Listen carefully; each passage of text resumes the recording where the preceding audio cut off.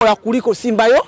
Sasa hiyo ndo ubora wa Yanga Afrika na. Sasa hii ni changamoto na hii sio bahati mbaya, yaani timu kwa mujibu wa CAF kiangalia ndani ya miaka miaka sita hii timu ambayo imefungwa magoli mengi barani Afrika ni Simba. Simba 2019 imefungwa goli 18.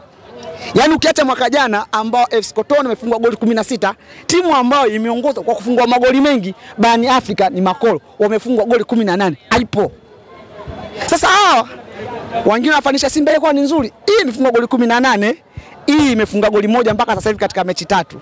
Yaani ukisema timu timu kiraza bani Afrika kwa sasa ziko mbili tu, yani viraza wako wako wako Makolo pamoja na Wydad Casablanca kwa sababu kwa mujibu wa mitandao ya AJ yani ya Moroko pamoja na magazeti ya moroko ambayo anasema kuna gazeti inaitwa Scorement ya, ya la Moroko limetoa ripoti.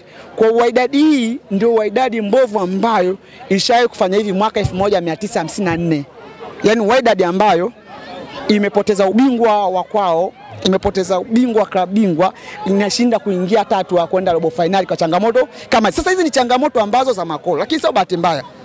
Bahati mbaya na Mungu alivyokuwa fundi, kundi lao ndo kundi, kundi ambao timu yenye vilaza wengi, yani ukichukua ASEC ndo bingwa wa kwao wa Ivory Coast, ukichukua Jan Galaxy ni bingwa wa Botswana, yani Makolo nafasi ya pili ligi Tanzania bara, wapo katika mashindano ya klabu bingwa. Yani mashindano ya mabingwa nafasi ya pili yupo, yani ukichukua Wydad ni nafasi ya pili Morocco lakini yupo katika mashindano ya kabingwa. Ukichukua makundi mengine yale yote hakuna sifa hizo. Ukichukua kundi la Yanga, Medeama ni bingwa wa Ghana. Unaelewa siji ndugu yangu? Yanga ni bingwa ligi kuu Tanzania bara miaka miwili mfululizo, enda kwa mwaka wa tatu. Unaenda kumchukua na nini? National ni bingwa klabu bingwa, anaenda kucheza na Manchester City. Hata na hivyo unaenda kumchukua Abizadi ni bingwa miaka minne mfululizo. Yaani kundi la Yanga inaitwa kundi la mabingwa. Ndio maana tafsiri ya ligi ya mabingwa barani Afrika. Ukiacha changamoto zote kufunga magoli mengi, kwa timu ambayo imefunga goli moja, ukiacha na wao kilaza wake, lakini ndio timu ambayo timu ambayo tunasema inaweza ikatitia ikatia aibu katika taifa hili. Na bahati nzuri umesema anacheza na Wydad. Wale hawana historia ya kuwafunga Morocco, yani wale kwa sababu alikuja Paraja Casablanca msimu uliopita atia chuma sita. Unaelewa? Inawezekana kwa wamesahau hapa chuma tatu kwa chuma tatu. Wamekuja hao Wydad msimu uliopita katika robo finali amtia chuma nne. yani hawa na Waarabu hawana, yani wana allergy na Waarabu. Yaani kimwona Mwarabu wanaona ni kama ni kama wamemuona askari wa kikoloni hivi jinsi anavyokimbia. Kuwa hawa hawana sifa. Kwanza kuwa hawana sifa kwenda mashindano ya kabingwa kwa sababu sio mabingwa, lakini hawana sifa kwa sababu ndio timu ambayo imeweka historia katika mashindano yote katika timu, timu zote zile. Timu ambayo hajapata matokeo mwezi wa 11 mpaka 12 ni wao. Yaani katika mechi nane hawajashinda, hakuna timu hiyo kata zile timu 16 zote ndugu yangu. Yaani ukiacha ukiacha ukiacha Wydad ni wabovu wao. Ndani ya mechi tano wamefungwa mechi nne, wameshinda mechi moja. Hawa ndo wanaongoza katika mechi tisa. Unanielewa sijui? yani ni timu ambayo ni timu kilaza barani Afrika ni Makolo alafu anafuata Wydad kwa sababu ndo pipa na mfuniko na wote ndo wako chini wanaburuza mkia katika, katika, katika kundi. Yani timu ambazo tunasema ukisema timu mbovu kwa mashindano katika timu 16 unakuta ni yao, na sio kwa bahati mbaya. Ubovu huo umeanzia kuanzia ligi kuu pamoja mashindano ya CAF pamoja na usajili wao. Ndio maana unakuta mashabiki wa Simba wanashabikia Simba, Simba Queens, wanaacha wanaume kwenda uwanjani. Yani umeona furaha yao ni wanawake kuliko wana ume. Sasa hiyo ni changamoto blaza, unanielewa? Wanasema na nyinyi ni kama eh, kuna vitu vimeanza kuwanyima raha hivi, upangaji wa kikosi cha mwalimu, watu wanalalamika, kuna wachezaji wanaona kama nafasi zao zinapotea na viwango vyao vinaweza kudrop kwa sababu ya kukosa nafasi za kucheza kwenye squad yetu. Nikusaidie ndugu yangu, amekuja Gamondi Master Real Maestro, si ndio? Ukiacha Simba amepigwa mara mwisho mwaka yes 60 67 65 67 kama sio 67 nice. Yes, Simba alipigwa chuma tano. Mara mwisho apigwa na mtani chuma tano nani? Yaani, unajua kitu kimoja. Hii ni bahati mbaya nyoa andishi mnataka kuwadanganya watu. Yanga ya Gamondi imemtia mtu chuma tano. Yaani hawa makoro kwa sema wazuri. Yaani wapigwa chuma tano, walistahili kupigwa hata chuma mia au goli tisini katika mechi pale tarehe tano. Lakini wapigwa chuma tano mbele ya Gamondi. Yanga msimu uliopita kuna shinda goli moja moja na Yanga safari hii ambayo inashinda chuma tano tano, ipi bora? Tano ni bora. Yanga hii ambayo imeingia tu ya klabu bingwa kwa asilimia mia moja imempiga ile Meleki nafasi ya kumi na saba no, nafasi ya ishirini na saba barani Afrika, na Yanga ile ambayo anabi kwa anashinda kuingia klabu bingwa, ipi bora kwa kia kwa kaida hii Yanga ina pia migoli mingi, Azam chuma tatu, Simba chuma tano, Asas chuma tano, JKT chuma tano, KMC chuma tano. Yanga hii inaweza kuwa ni mbovu kuliko Yanga hiyo? Yaani haijawahi kuzaliwa katika dunia hii tongea kuumbwe Yanga bora kuliko Yanga Agamundi. Nyie waandishi msema cha IF EF kocha alipanga kosi ya pili, kosi ya pili mkalalamika sana kosi ya kwanza. So nyie Ni wao. si ndio? Sasa nyie waambie, yani kocha huyu Lili Maestro, yani kama amemfundisha Messi, kamfundisha Maradona, benchi la ufundi yuko la Argentina, kafanya kazi zote, ashindwa wa Tanzania. Hawa Watanzania wanaelewa, na Watanzania hawa sio kwa bahati mbaya brother, Watanzania wanaelewa, sio kwa bahati mbaya, wanaujua ubora wa Yanga. Kaka, Yanga msimu uliopita shina goli moja na Yanga shina goli tano, ipi bora Yeah. eh? Yeah. Waambie Wa- Ah, Mavala bado sijamaliza, washa taa,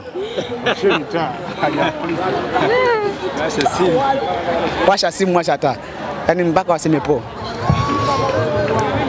Kuna sehemu wamegusa nyaya. Eh, mwambie bila kwa tano. mimi nitaikumbuka. Yanga Gamondi ndio Yanga bora kuliko Yanga yoyo yoyote.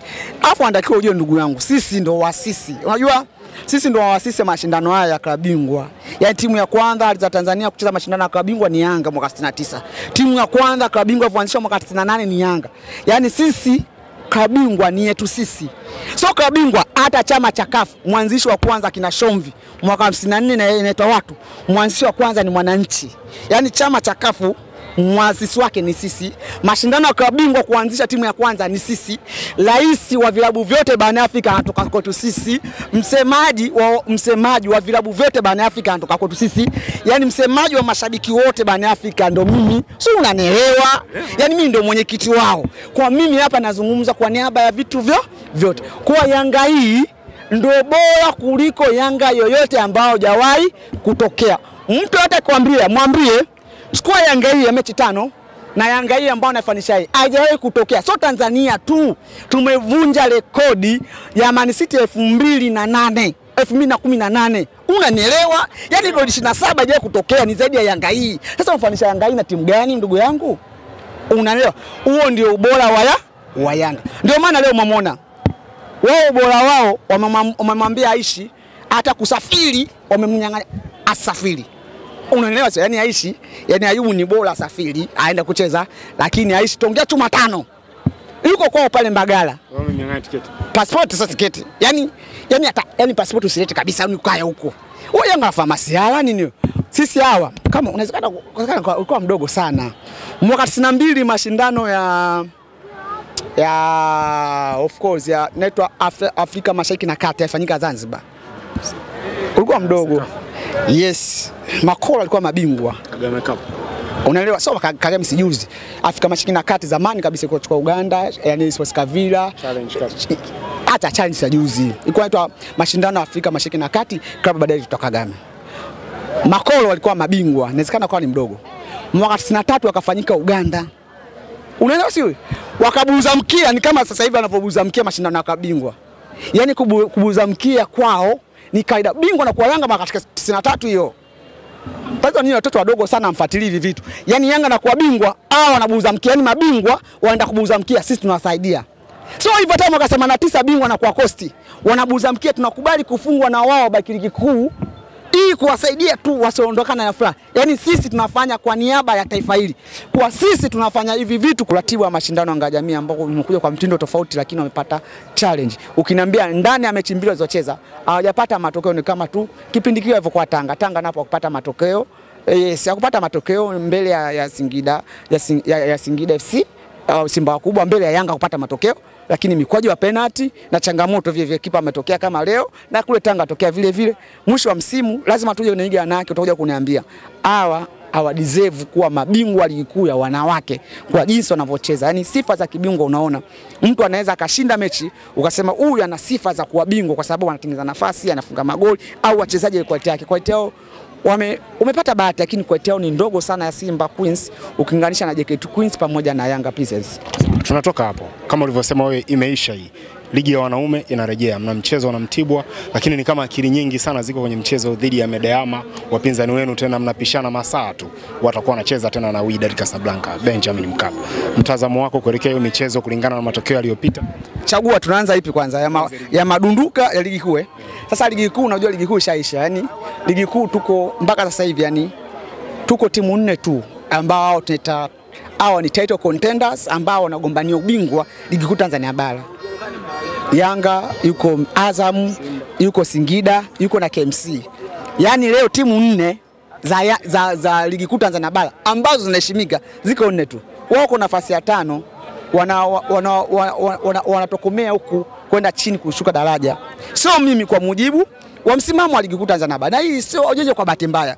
Inawezekana ndugu yangu, nishakwambia tungia mwanzo wa msimu makosa makubwa ambayo aliyafanya ndani ya usajili yanaanza kuonesha impact yake taratibu taratibu, ambao mimi naambia nyinyi mko mnielewi, lakini sasa hivi wanaanza kunielewa. Sasa hivi wako nafasi ya tano. Na kesho kiomba Mungu inawezekana akashuka tena nafasi ya sita na kuendelea. Hiyo maana tunazungumza quality ya wachezaji wao, na mimi ni- nizungumza mwanzo wa msimu na nyie mmeona, lakini sio hivyo tu, inawezekana Mavana, na ndugu zako nyie, nyie, mkawa mwelewi hii changamoto kubwa ambao wameipata kuanzia hapa, walianza tongea mashindano ya kabingwa. Unajua kabingwa timu ndani ya miaka 30 ya kafu, hakuna timu ambayo imeenda hatua ya makundi bila kushinda. Unanielewa sijui? Yani imeenda hatua ya makundi bila kushinda, ni makolo peke yake kuwa hawa wana rekodi mpya ndani ya kafa mengi hatua makundi bila kushinda. Ndio leo timu katika mashindano hayo yote timu ina goli moja peke yake. Yani ukichukua Yanga Yanga Yanga ile pepe Pakome peke yake ana magoli mawili, ile ile Simba nzima yote ile yani ukimwanza Mangungu aa, ndugu yake si Kajula, Simba nzima ile yote wana golili moja. Yani Pakome ni bora, hitaji uende shule.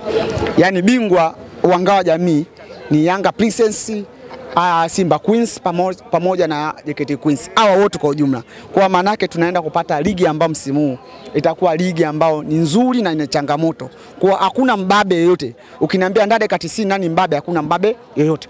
Kwa maana yake JKT Queens msimu huu watapata changamoto sana. Nimeona Yanga Princess na msingi mkubwa kuchukua JKT Queens, wachezaji karibia wanne wote wametoka Yanga, wale akina Mina Bilali, si akina nani, umeona wale wale wote wametoka Yanga kwa ukiona Jagati Queens imeenda mashindano imecheza nusu fainali ya shindano ya, ya, ya, ya wanawake kule katika CAF, si ndio? Umeona Uganda inatoa challenge, ujue kuwa maana yake kuna msingi mkubwa wa nyuma wachezaji wa Yanga ambao wapo Jagati Queens, lakini mimi nasema mashindano yako mazuri.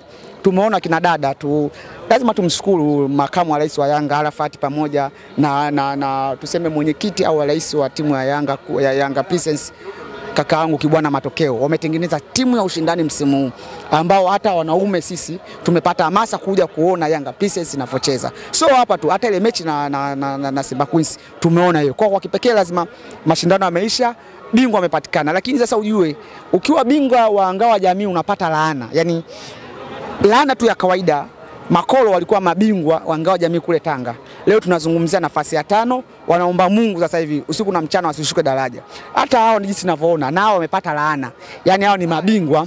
Wakienda ligi kuu tu ya wanawake utasikia nafasi ya sita au ya saba, kwa sababu sijaona ile quality ambayo unasema ndani ya dakika 90 wanaweza kushindana labda na Fountain Gate, ndani ya dakika 90 wanaweza kushindana na, Ruvuma au na Yanga Princess ndani ya dakika 90. Hawezi kuwa mabingwa ligi kuu Tanzania, ligi kuu ya wanawake hawa madada, lakini kwa kipekee lazima ndo waambie TFF wamefanya kazi kubwa sana,